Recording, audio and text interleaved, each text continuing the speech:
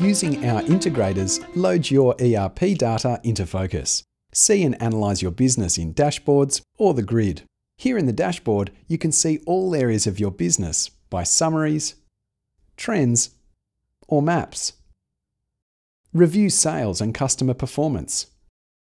Stock levels or supplier performance, accounts payable and accounts receivable, and your financial reports. To analyse the data behind the dashboard, move to the grid.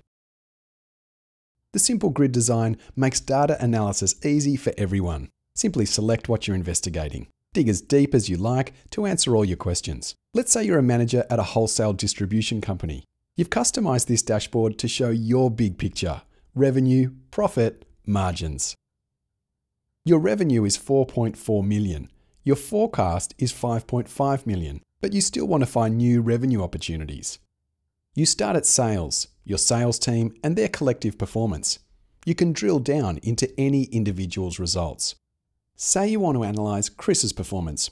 By clicking on Chris, the dashboard will update to show only his activity. The bullet chart shows he's falling short on sales targets. And the gauge in the red zone shows his revenue is down on last year. Just remove the filter to see everyone's performance again. Let's explore more about Chris and the team by going into the grid. You can look at the data by any time period. You're looking at year to date. Here you're looking at the sales value. Instead, let's select margin and the results change instantly. You can chart anything on the grid. This line chart highlights a problem. Chris's margins are declining. Let's jump back to the grid. The dimensions on the left group your data. They're configured to the way your business is organised. Here you have sales by customers, products, people, and places. You want to know what Chris's customers in one territory are and are not buying. Select the territory, then select the customer button to see only those sales.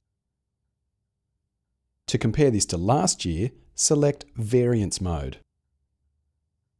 Custom Aluminium spent 18,000 this year and 15,000 last year, an increase of 20%.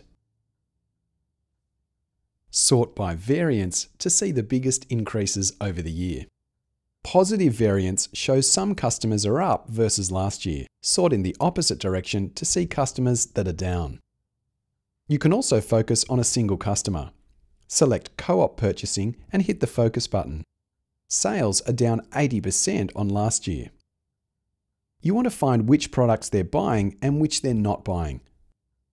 The highlighted products they've stopped buying are your revenue opportunities. You can boost revenue by cross selling. You do this in matrix mode, which is designed to analyze the complementary things in your business. You select two product classes your customers should buy together. Then select matrix. Then select customers. This shows all the customers buying either or both product classes. Now you filter the data and see customers who are buying product class A but are not buying any of product class C.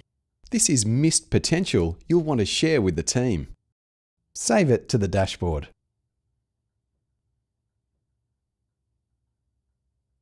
Start conversations with your team about any risks or opportunities as you discover them.